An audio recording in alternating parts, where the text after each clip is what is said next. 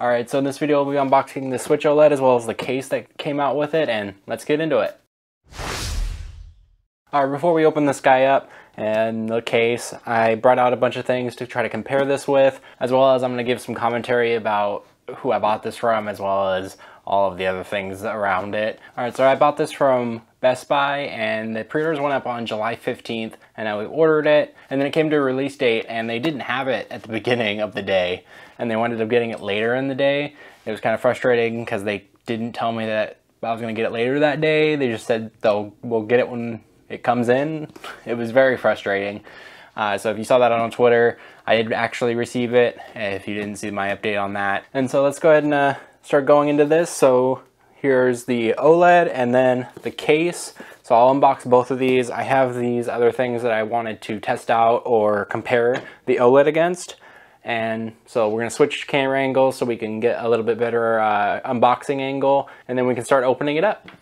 All right, so I got the OLED and the case here. I'm gonna go ahead and open the case first since it'll be smaller box and quicker.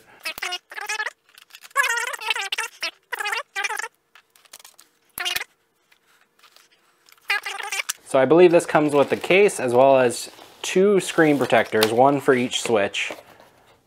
One for the regular switch and one for the OLED model. I'm not sure which one's which, but I'm sure it tells you exactly which one is which. So that's what those are for. I'll put those on later. Most of my switches already have them on that, but it'll help with the OLED. So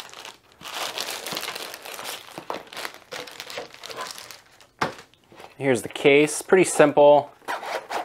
It's supposed to fit both uh, types of switch units and it's got a little game case, it's kind of nice. And very small, which is nice. So it's not too much more to carry around. But that's essentially it. It kind of matches my Switch, that's why I got it, as well as I needed one for this. So let's go ahead and go over to the OLED, and I don't think this one's got stickers covering anything, so this just opens up and there it is. I personally really like the white. So that's really nice. I enjoy that color. I just like that it's white. Hopefully I can keep them clean, but I do enjoy just the look of it. So there's the right one. Here's the left one. Fairly nice. They look, you know, just the same as other ones, but Let's go ahead and now let's take out the OLED. And I feel like it's a little heavier. I'm, I could be wrong. Let me know down in the comments if it actually is heavier, but that does feel heavier. And the screen already, even off, I can't really like show you exactly what I'm seeing, but it's very glossy and I enjoy it. This is all glossy as well rather than this other uh, the original one was more matte, and I don't know if you'll be able to tell, but once we have them uh, next to each other, I'll show you that it's a little bit more glossy on this guy. And I don't know if it's just because it's new or not, but let's go ahead and set that aside and keep opening up everything else. So you got a new dock, which has Ethernet in it.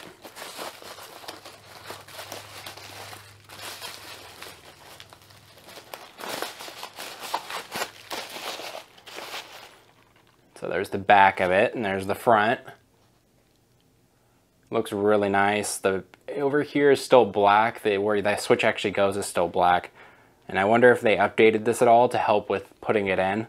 But this comes off and it just comes off. It doesn't actually attach anymore, which I thought was interesting. They I guess people just take it off and never put the back back on it, but I def I definitely put them on there. It's got the LAN port, the USB-C for power, USB-C for power, HDMI and LAN port. It's kind of hard to show you with the lighting I got, but there's the logos there, or the labels for that. And I'm gonna go, go ahead and put this back on, which you just put it on like that, I believe. Yep. And it's still got two USB, it just doesn't have the internal one anymore but that's okay. I never really used more than just these two. So there's the dock. And then HDMI cable. I have plenty of these. Another adapter for the Switch, which is nice. I, you know, always gonna like to have specifically for the Switch um, adapters, even though you can use pretty much anything, but just in case I want to use that. Then it comes with another grip, which looks slightly different, but kind of looks more like the one that you would get that have the charging, like the charging grip, I think is what they call it. So let's go ahead and slide these on. There you go. Yeah, feels about the same. Pretty nice though. I, I like it. I always like these ones though. At least if I have to use the Joy uh, Joy Cons to actually play, I would rather put them in the grip than like separately. But let's go ahead and put all that. I think that's all that's in the box. Nope. Oh, and then the little, got the little rails for holding it handheld. If you're playing the games in handheld mode, you got those then. And that's all that's in the box. So I'll set some of this stuff aside. Uh, I didn't open this up before, but I'll do that now. This is the power cable. Looks like it's just the same, pretty much the same one. Slightly different color, which is kind of cool, so I know which one goes with the with this one if it in case it does require a different amount of power, but I don't think it does. So we will just not have to worry about that too much. All right, so let's go ahead and compare them side by side. So you have this is the original Switch, came out in 2017. And so let's go ahead and do this guy and take those guys off. So I do have a screen protector on this guy, so that is slightly different. As you can see, when the screen is off, the blacks really show, where this doesn't look black as much as this does. So I'm to try to see if I can show you guys how glossy this is. See how glossy that is? I kind of like it if I can keep it glossy. There's a light for you. Try to give you as much detail on the on the screen itself while it's off. Now, let's go ahead and flip it over. There you go. Those are the two next to each other. I thought I'd show you guys the switch light next to it as well. So let's go ahead and put it here, maybe. Maybe let's move that. Something like that. So it is by itself about the same size. It's slightly bigger. It is slightly bigger than the original, but not by a lot. So hopefully all my accessories work with it. I do like this new kickstand though, where it's kind of in the middle. I don't know how to open it. Oh, you open it up like at the bottom. So instead of, this one's very difficult to open for me because I don't have nails. And so I do like that this one's a little bit easier to just put your hand in and open that up. And oh, okay, okay, yeah, this is definitely so much better. So I'm gonna try to show you where you can open it up like that and it stays. And then you can open it to any angle you want up to there. So that's really nice. It's got a very good hinge. So you can open it pretty much at any angle. So I got it open at different angles where you can actually hold it up. Let's see. Not a great angle to show you at, but you can keep it at pretty much any angle you want and it to stay. So that's nice. And it's got a satisfying click when you put it back down too. So that does not feel like as as cheap as this did, where this is only at one angle and that's it. So let's go ahead and I'll show you guys those two next to each other. There's all the different models of Switch right here with the different sizes. The screen is extremely larger on the OLED than this is, and I'll show you that in a second. Let's go ahead and put these Joy-Cons back on. And I haven't actually put it on the OLED yet, so let's see. So I felt that. That's the original one. It's been used a little bit. Let's go ahead and see how this feels. Ooh, that is nice. I do like that a lot.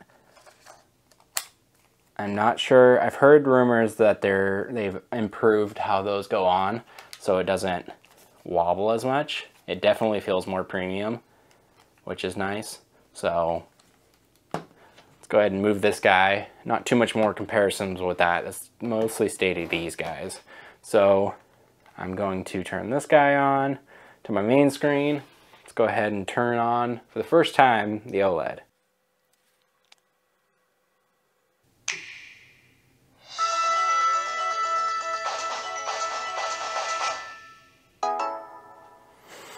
Wow, okay, that looks a lot.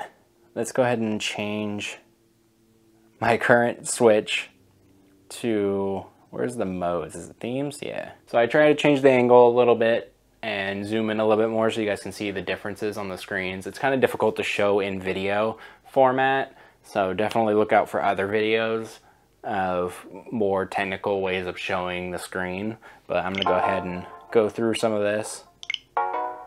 I can tell you now the speakers are again harder to show through here of how much better they are, but they do sound a lot better. And so I'm just going to pause here and finish up the setup and we'll be right back. All right, so I've set it, I've completely set it up already. I'm gonna go ahead and go back here and I'm gonna show you guys the home screen. So this guy uh, a little bit more dull, I believe than this guy. This guy looks a lot more brighter. Trying to equal it out there. It looks really nice.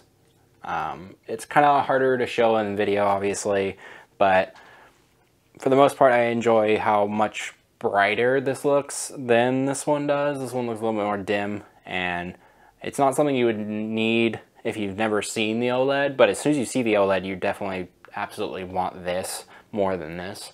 But this is cheaper, so I don't think Nintendo's to stop selling this one.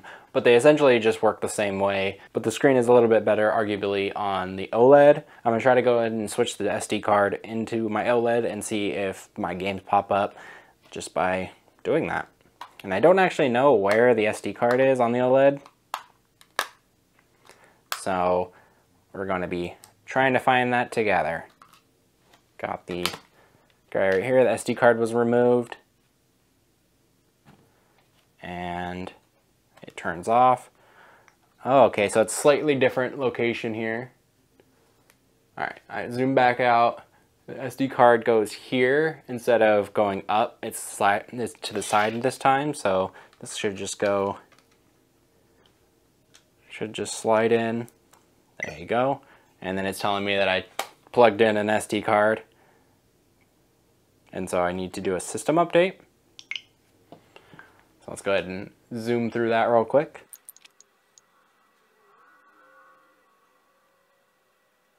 Alright, so we're back on the main screen. I gotta change that because I don't like doing that.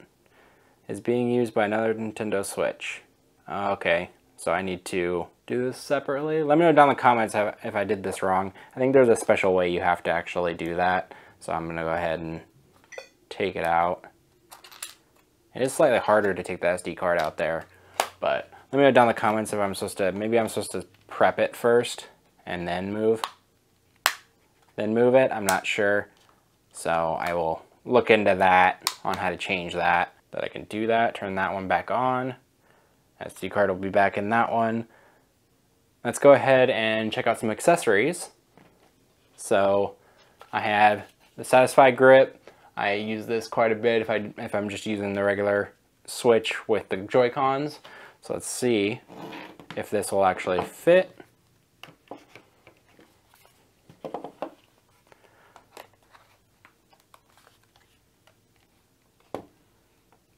It does not. So it looks like the Joy-Cons and everything make it a little too wide here. So you have to get a special Satisfye grip, sadly. So that's not gonna work, but let's go ahead and take these guys off and try the Fixture S1. I just recently made a video on this. Go ahead and look down in the description for that and you can check that out. There'll be a link to, to that guy down there. See, I think this might, nope. Wow. Okay, doesn't fit either. I'm not sure that you can actually get it to fit either. Maybe if you stretched it a little bit. No, the plastics don't bolt bend enough. So hopefully they will come out with another Satisfye uh, grip as well as the Fixture S1, maybe an S2 that works for the OLED or an S1 OLED, something like that. And I will have to tweet that out and let them know that it doesn't actually work. And so let's go ahead and uh, check out putting these Joy-Cons back on and then check out how it looks and fits in here. Let's go ahead and there you go. Okay, so it, it doesn't turn off because I am not connected to anything, but that works really well. And not too much here. Now I'm wondering if this guy will fit in here. So let's go ahead and take it out and see what happens when I fit it in here. Okay, so it fits slightly different and it's not enough to actually make it so it doesn't work, but so this works. Doesn't matter which uh, dock you have. I figured it would work, but I thought I would check it out since it's uh, part of Nintendo stuff. So let's go ahead and check out the case, putting each one in there. So that goes there, I believe, and then this just closes up. And I think it's actually supposed to be this way. I'm not sure. Oh, the Switch logo is that way, so... Looks like it fits no matter how you put it in here, but it probably goes in... Actually, doesn't seem to matter which way you put the Switch in or these this fold, as long as it goes, you know, as long as you put it in there in a reasonable way. So let's go ahead and take that guy out and check out the OLED in there. And it seems to, yeah, fits just as well. Doesn't seem to matter which way you put it. You might want to worry about your screen a little bit if you don't put a screen protector on it, but this came with a screen protector, so that's what, the reason why the case would be that way a little bit.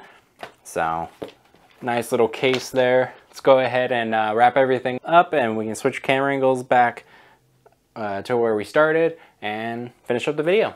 Alright, so that was the Switch OLED and all the accessories and everything I have for the Switch and trying to see if any one of them would fit. And as you can see, sadly, the amount they actually changed it does affect some of these more, I would say, niche products for Nintendo.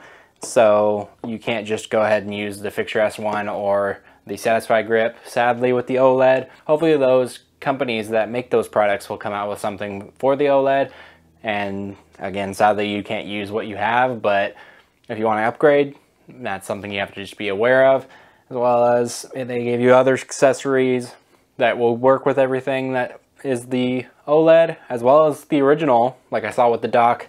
The original one will fit in there. Obviously, the light won't ever fit in the dock because it's not supposed to be docked. And that's worse with the OLED one since it's a little bit longer. This wouldn't fit even, you know, even more.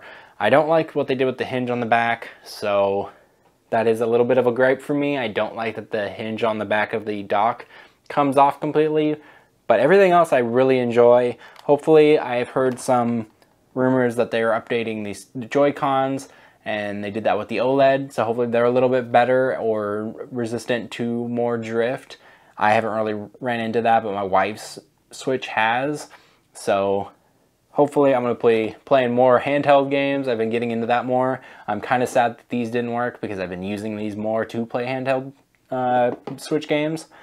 So let me know down in the comments what you guys think about the OLED, what you guys think about the video, what do you guys think about it not fitting, some accessories, and all the other opinions you guys have. I would love to talk about all of that down in the comments. I also just want to add in that I enjoy that they made a case for it and that it came with screen protectors for two different switches in case you buy the old one and it, and it still comes with that, as well as if you bought the new OLED one, you get one as well.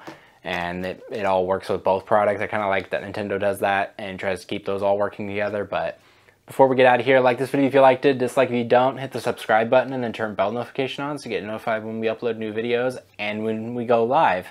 I've started streaming on here, so you'll get notifications when I go live as well, as long as you uh, subscribe and hit that bell icon. There's also links down there to Twitter, a bunch of other things that I just talked about in this video, as well as a link to Castlemania games, I believe is the name of it. I got it wrong last time. I'm pretty sure I said Castlevania games, which is Mania.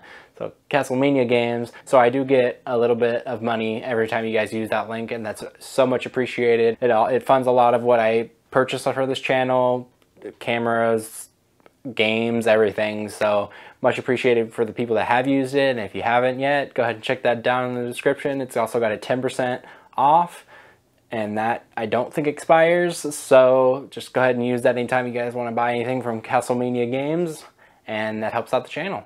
And as always, there's other links down there. Go ahead and check those out. And some of them are affiliate links. If it's pointed to Amazon, most likely is an affiliate link. And thank you guys for watching this video, and I'll see you guys in the next one.